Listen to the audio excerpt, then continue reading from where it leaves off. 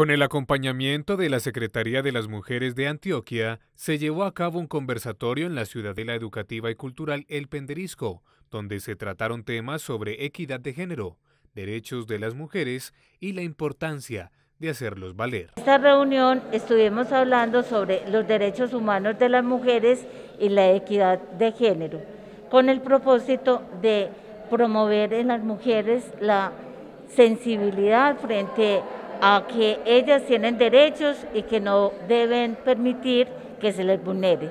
A través de diferentes métodos como el arte, al igual que el uso de material didáctico, pudieron disfrutar de un espacio de aprendizaje en torno a el tema tratado.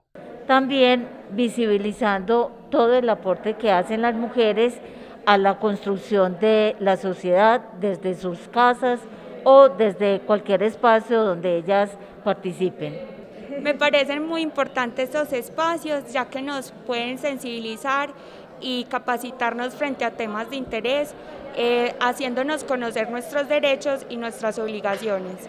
Un tema que concierne a toda la sociedad ya que la violencia no tiene género ni debe ser normalizada en ninguna de sus formas. Hay que alzar la voz en contra de la injusticia que a lo largo de los años ha sido silenciada.